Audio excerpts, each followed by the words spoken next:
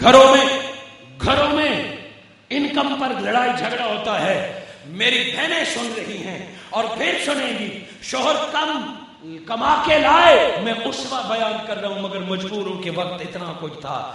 تھوڑے کما کے لائے تو بیویاں ناراض ہو جاتی ہیں، مائیں ناراض ہو جاتی ہیں، اس سے میں گھر کیسے چلاؤں گی؟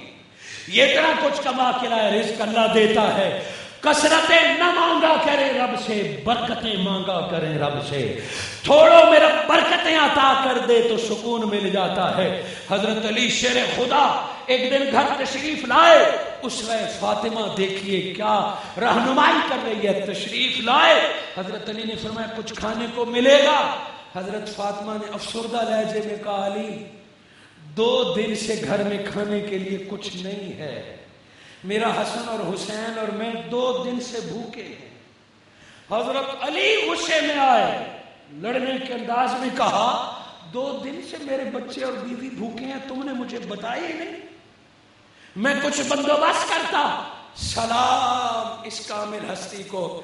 حضرت فاطمہ نے فرمایا، علی، میں بتا دیتی۔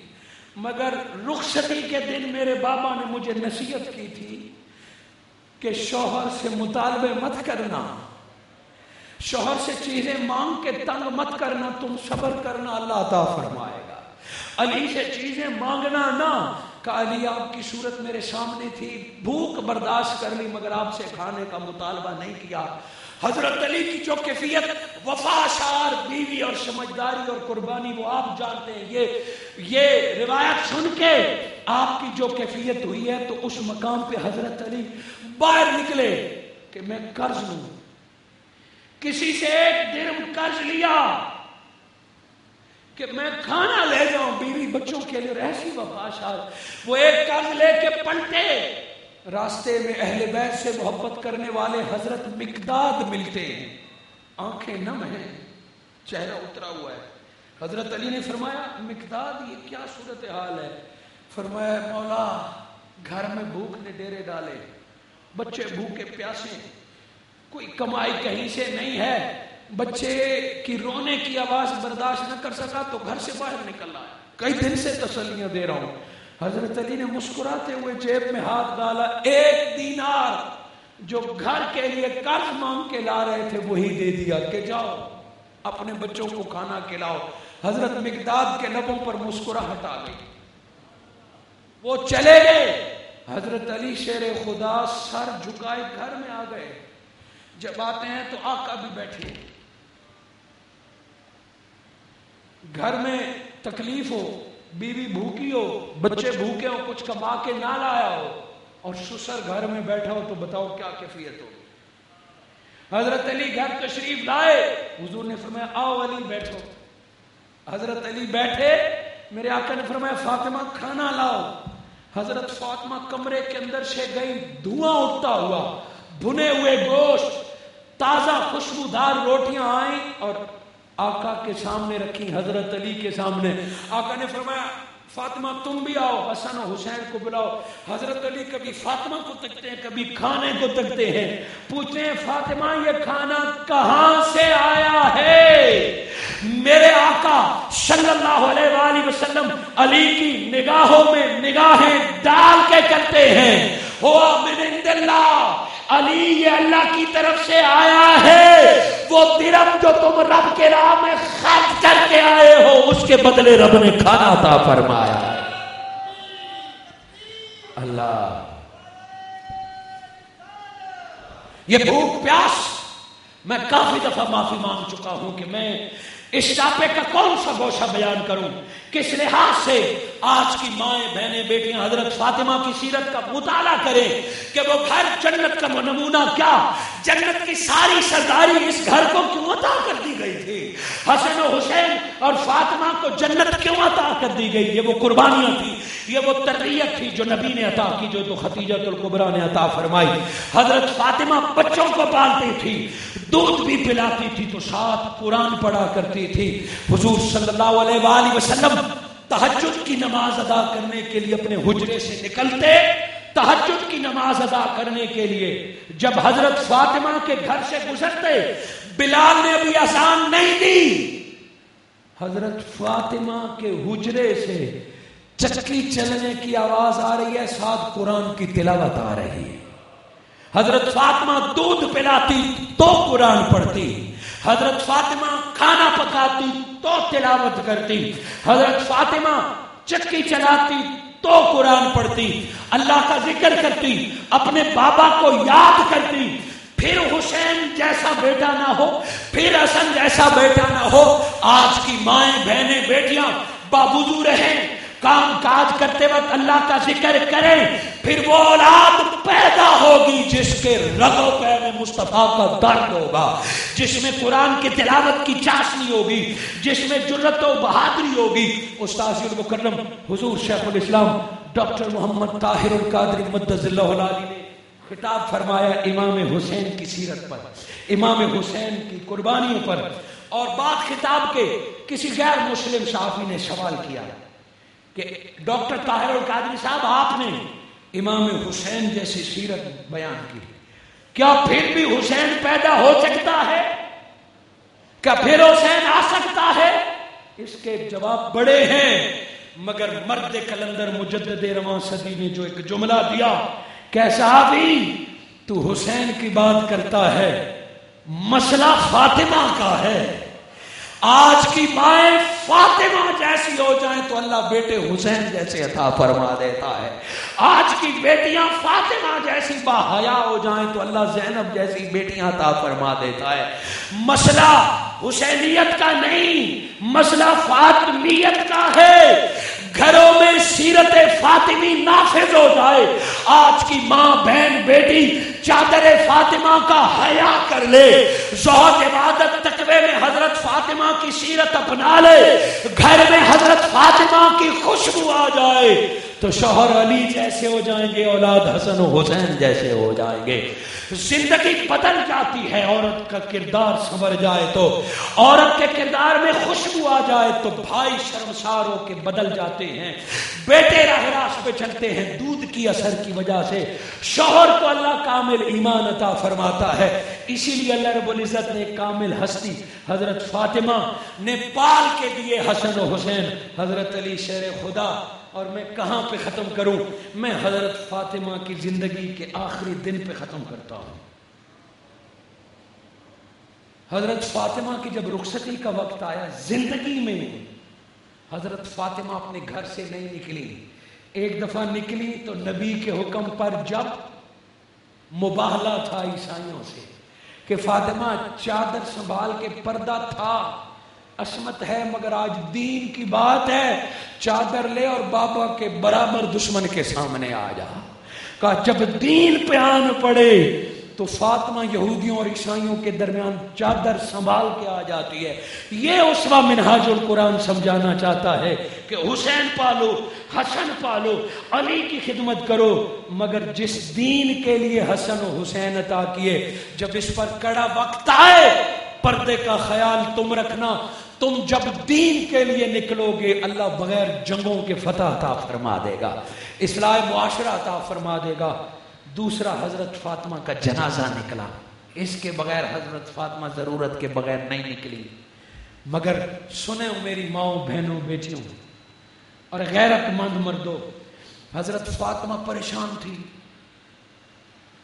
حضرت ام امیس کا بی بی آپ پریشان ہیں کہتے مرنا ہے۔ میں سوچتی ہوں، میرا جنازہ کیسے جائے گا؟ لوگ دیکھیں گے، فاطمہ کا جنازہ جا رہا ہے۔ کاکیوں کا پردے کا خیال بعد مرنے کے بھی ہے۔ کس طرح اس طرح مجھ پہ چادر ڈالی جائے؟ اس طرح مجھے کفن پہنایا جائے کہ میرا پتہ نہ چلے۔ ام امیز فرماتی ہیں، میں نے حبشہ کے علاقے میں ایک جنازہ دیکھا کہ لوگ اس طرح اپنے میتوں کو لے جاتے ہیں۔ کیسے؟ کھجور کے تنے کو، کھجور کی لکڑی کو موڑا، کبا بنایا۔ اس پر چادر ڈال دی۔ اندر پتہ نہیں چلتا تھا، مرد ہے، عورت ہے، بچہ ہے، بچی ہے، بوڑھا ہے، جوان ہے۔ آخری دن ہے۔ اور جب جنازے کی چارپائی کو اس قدر پردے میں دیکھا، مسکرا پڑی کا، بس میری آخری سفر کے لیے یہ کافی ہے۔ میری وسیعت ہے کہ مجھے اپنے لیے خود بنایا۔ آخری دن تھا۔ سنو میرے ماؤں، بہنوں، بیٹیوں، حضرت علی شیر خدا کو فرمایا، آج دور مت جانا۔ حضرت علی نے فرمایا، کیوں؟ کہ آج میں اپنے بابا کے پاس جا رہی ہوں۔ حضرت علی جانتے تھے فاطمہ ہے جو منہ سے نکلتا ہے، وہ رب پورا کرتا ہے۔ تھوڑی دیر گزری، گندم اٹھا لی اور چکی چلانے لگے۔ حضرت علی نے فرمایا، فاطمہ ادھر تم کہتی ہو، میرا آخری دن ہے۔ اب یہ چکی چلانے لگی ہو آخری دن بھی۔ رو کے کہتے ہیں، علی ہاں جانتی ہوں۔ مگر آج آٹا پیسوں گی۔ روٹیاں بناؤں گی۔ آخری دفعہ حسن اور حسین اور زینب کو کھلاؤں گی۔ کیا خبر میرے بعد یہ معاشرہ میری اولاد کے ساتھ کیا کرے؟ یہ ماں تھی۔ جو ایک ماں کو بتا رہی ہے کہ اولاد کی تربیت کا حق کتنا ہوتا ہے۔ میلے کپڑے سارے گھر اٹھا لی اس طرح کے ڈٹرجنٹ پاؤڈر نہیں تھے، صابن نہیں تھے، کپڑے دھونا ایک مشکل کام تھا، پانی نہیں ہوتا تھا۔ کپڑے دھونے بیٹھی حضرت علی نے فرمایا، یہ کیا کر رہی ہو؟ کہ ماں ہوں، بیوی ہوں، آخری میلے کپڑے بھی خود دھو کے دینا چاہتی ہوں اور ہاتھ سے پہنانا چاہتی ہوں۔ نہ جانے بعد میں میرے بیٹوں کے کپڑوں کا رنگ کیا حضرت علی شیر خدا بچوں کو لے کے باہر نکلے، کھانا کھلایا، بچوں کو تیار کیا، حضرت علی کو تیار کیا۔ آج کی عورت کو سمجھا گئے کہ عورت کی عظمت گھر کے کام کاج میں ہے نوکرانیوں رکھنے میں نہیں ہے۔ گھر کے کام سے فرار میں نہیں ہے۔ عصمت فاطمہ یہ ہے کہ آخری سانس میں بھی گھر کے کام تو کر، اللہ تجھے عزت عطا فرما دے گا۔ آج اولاد نافرمان کیوں ہیں؟ آج بیٹیاں ماں کی بات کیوں نہیں مانتی؟ آج بیٹے ماں کے قدموں میں جنت تلاش کیوں نہیں کرتے؟ جو اولاد نوکرانیوں کے ہاتھ پلے بڑے جو اولاد فیڈروں پہ پلے پڑے وہ کہاں ماں باپ کا حق ادا کرے؟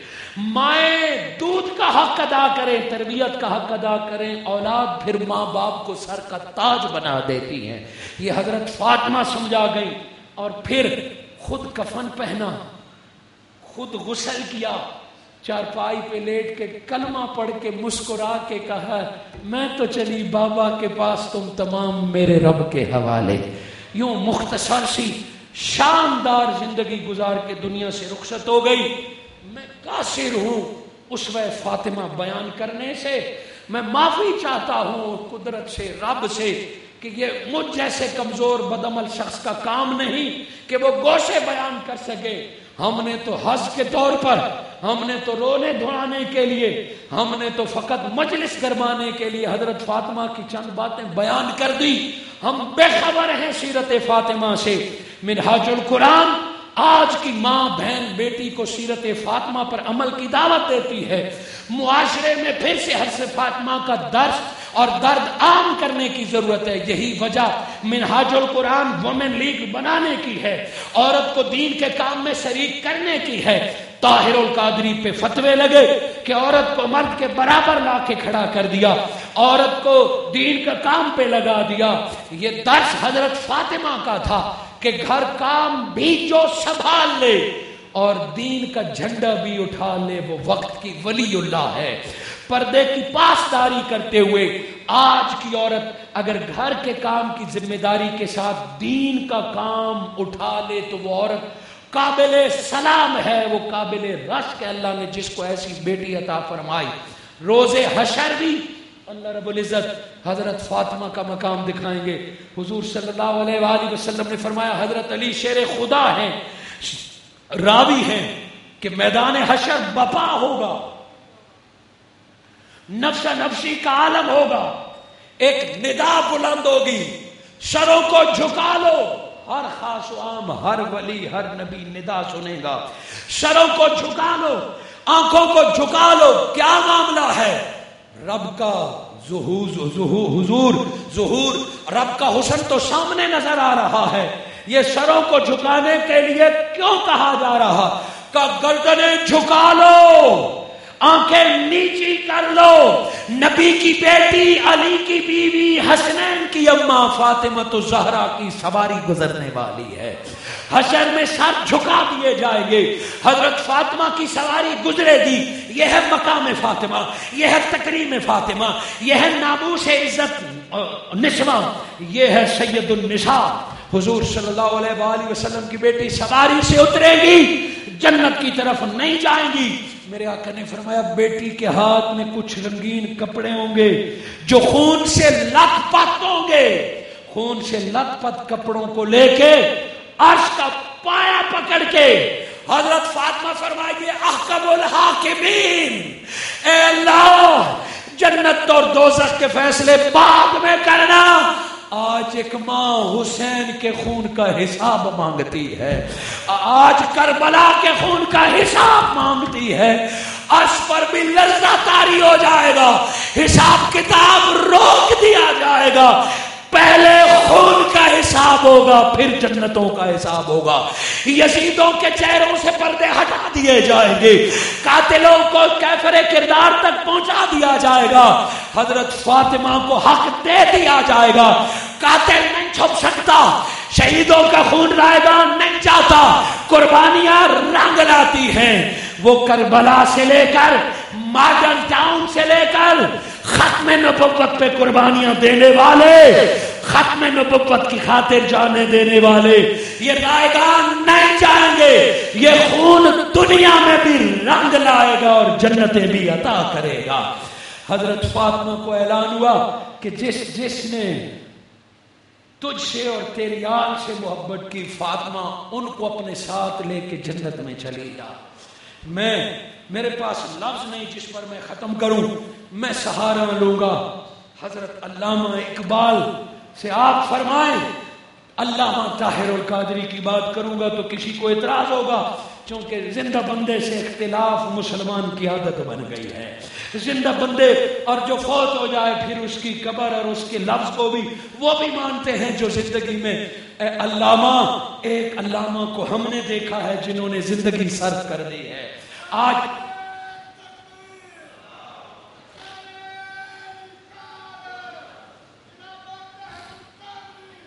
حضرت علامہ اقبال ساری بات بیان کر کے جب فرماتے ہیں، سید النساء پہ فرماتے ہیں میں نے قرآن اور حدیث کا مطالعہ کیا کہ مریم، تجھے اللہ نے اتنا مقام کیوں دیا؟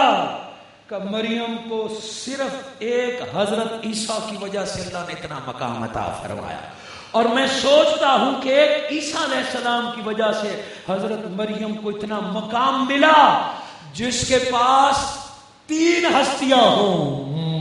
مصطفیٰ جیسا بابا ہو، علی جیسا سرتاج ہو، حسین جیسا بیٹا ہو تو اس عورت کو رب نے کتنا مقام عطا اور جس پر میں چاہتا ہوں کہ میری ساری گفتگو علامہ اقبال فرماتے ہیں۔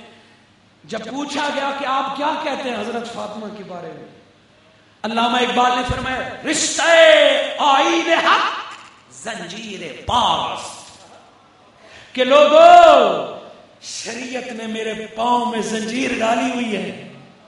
میں جو کہنا چاہتا ہوں نا، نہیں کہہ سکتا چونکہ شریعت نے میری پاؤں میں زنجیریں ڈالی ہوئی ہیں۔ پاس فرمان چناب مصطفیٰ اور مجھے میرے آقا کی حکم نے پابند کیا ہوا ہے۔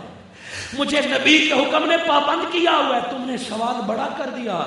شریعت کی بیڑیاں نبی کی پابندیاں، ورنہ ورنہ کیا کہتے؟ اے آپ علامہ، آپ حضرت وگرنا ورنہ، گرد تر بسے کر دیدہ میں سجدے۔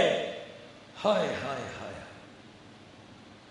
علامہ اقبال فرماتے ہیں، دلوں کو تھام کر سنیں کہ اگر حضور صلی اللہ علیہ وآلہ وسلم کی قول اور شریعت کی پابندی نہ ہوتی تو لوگوں اقبال کا عقیدہ سن لو، میں حضرت فاطمہ کے قبر کا طواف کیا کرتا۔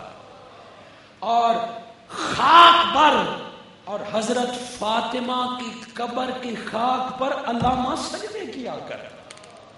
اگر شریعت کی پابندی اب اس سے آگے کیا عقیدہ میں بیان کروں، کیا مقام بیان کروں؟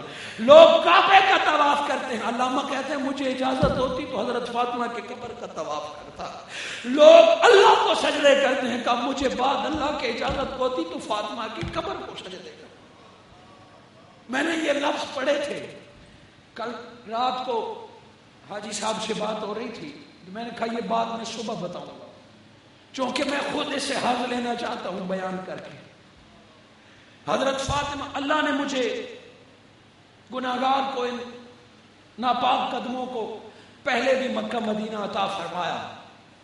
مگر اس دفعہ میں جیسے بتایا، چند دن پہلے اور تحدیث نعمت کے طور پر۔ آج اس جگہ اس لیے بتانا چاہوں کہ آپ بھی اس بات کے گواہ ہو جائیں۔ اور یہ ٹاپک میں نے خود نہیں چنا، جو بیان کیا۔ میں عمرے سے واپس آیا تو مجھے مرکز نے بتایا آپ کے ذمہ یہ ٹاپک ہے۔ اب کڑیوں سے کڑیاں دیکھیں۔ میرے پاس کوئی اسباب نہ تھے عمرہ جانے کے۔ تیار تو بندہ ہر وقت ہوتا ہے، مگر ظاہری طور پر کوئی تیاری نہ تھی۔ پچھلے ماہ ایک جگہ پر حضرت فاطمہ کی ولادت کا تذکرہ میں نے کیا۔ وہ خطاب کیا کیا رنگ تھا اس کا؟ اس کتاب کی تیاری کے دوران حضور شیخ الاسلام ڈاکٹر محمد طاہر القادری مدض اللہ علی کا ایک خطاب کا کلپ میں نے سنا۔ آپ فرماتے ہیں حضور شیخ الاسلام کہ میں جب مدینے جاتا ہوں، ڈائریکٹ حضور کے قبر انور پہ نہیں جاتا۔ وگر میں عاشقوں سے پوچھئے بیتاب ہی ہوتی ہے کہ میں جلدی پہنچوں جاریوں کے پاس عشق بیتاب کر دیتا ہے۔ مگر حضور شیخ الاسلام فرماتے ہیں، میں ڈائریکٹ قبر پہ نہیں جاتا۔ حضور شیخ الاسلام فرماتے میں پہلے جنت البقی میں جاتا ہوں، حضرت فاطمہ کے قدموں میں کھڑے ہو کے کہتا ہوں، اے حسنین کی اماں، میں حاضری دینا چاہتا ہوں۔ اپنے بابا کو کہیے، ہمارا کتا آیا ہے حاضری قبول کر کہ آپ کہیں گی تو مجھ گناہگار کی حاضری قبول ہوگی، جو مانگوں گا ملے گا۔ حضور شیخ الاسلام فرماتے ہیں، میرا معمول ہے۔ میرے دل سے ایک ہوک اٹھی کہ میں پچھلی دفعہ گیا تھا، مجھے تو اس بات کا پتہ ہی نہیں تھا۔ اب اللہ مجھے موقع دے گا تو میں بھی ایسا ہی کروں گا۔ یہ فقط دل میں خیال آیا، دعا مانگی۔ یقین کیجیے کتنے لجپال لوگ ہیں۔ کتنی نظر ہے۔ یہ رات کا آدھا پیر تھا۔ صبح میں اٹھا اور سفر شروع کیا کہ مجھے کال آئی۔ سلام کیا، ہمارے دوست علامہ سعید الحسن صاحب تھے امریکہ میں۔ فرماتے ہیں، میری فیملی بالکل تیار ہے، کل پر سمرے پہ جا رہی ہے۔ آپ کی کیا مصروفیات ہیں؟ میں نے کہا، میری تو ابھی کوئی تیاری نہیں ہے. کہتے ہیں، وہ اپنے دوست ہیں، عزیز ہیں، کہتے ہیں، حضور، تیاری کریں، میرا جی چاہتا ہے، میری گھر والوں کے ساتھ آپ بھی چلے جائیں. میں نے کہا سعید الحسن، یہ آپ نہیں بول رہے، یہ کوئی اور بلوا رہا ہے؟ اور اسی ہفتے اللہ رب العزت نے مجھے حاضری عطا فرمائی، یہ کمال ہے حضرت فاطمہ سے نسبت کا۔ میرے آقا نے فرمایا، فاطمہ، جس سے تو راضی ہوتی ہے، اس سے اللہ راضی ہو جاتا ہے۔ جو تجھے ناراض کرتا ہے، اس سے رب، یہی وجہ ہے کہ منہاج القرآن اہل بیت کی محبت پر مر مٹنے کا دس دیتا ہے۔ یہ دس آٹھ پانچ گزر گئے اور یہ زندگیاں بھی گزر جائیں گی۔ آؤ، امام حسین کے مشن کو سمجھو، حضرت فاطمہ کے حسن کو سمجھو۔ منہاج القرآن فقط اتنا چاہتا ہے کہ سیرت فاطمہ کی ہو۔ اور مشن حسین کا ہو تو یہ زندگی جنتوں سے بڑھ کر ہو جائے گی۔ دعا کرتا ہوں، آج آپ نے اتنی دیر مجھے برداشت کیا۔ اللہ رب العزت ان لفظوں کے صدقے آپ کے گھروں میں حضرت فاطمہ کی چادر کا سایہ عطا فرمائے۔ ماؤں بہنوں بیٹیوں کو برکت عطا فرمائے۔ اور اس درس کے انعقاد میں منہاج القرآن کے جتنے احباب نے اور اہل سنت والجماعت اور مسجد حاضر جو اشتہار میں جس نے بھی کیا، اللہ ان تمام کو حضرت فاطمہ کے قبر کی جلد حاضری عطا فرمائے۔ حزب سابق اس بار بھی منہاج القرآن کے زیر اہتمام حضور شیخ الاسلام ڈاکٹر محمد طاہر القادری مدرس اللہ علی کی سنگت میں سالانہ اعتکاب ہونے جا رہا ہے، جس میں ہمیشہ حویلی لکھا کے نہ صرف شرکا ہوتے ہیں، بلکہ انتظامیہ میں ساتھی نظر آتے ہیں۔ اب بھی میں آپ کو باقاعدہ اطلاع دے رہا ہوں اور دعوت دے رہا ہوں کہ مرد و خواتین کے لیے ہمیشہ کی طرح اس دفعہ بھی اجتماعی توبہ، اجتماعی اعتکاف اور درست و تدریس کے دس روز اعتکاف کا بندوبست ہے۔ خود بھی نیت کیجیے، اپنے گھر والوں کو بھی شریک کیجیے۔ اللہ روز حشر مجھے اور آپ کو حضرت فاطمہ کے قدموں میں جگہ عطا فرمائے۔ جزاک اللہ۔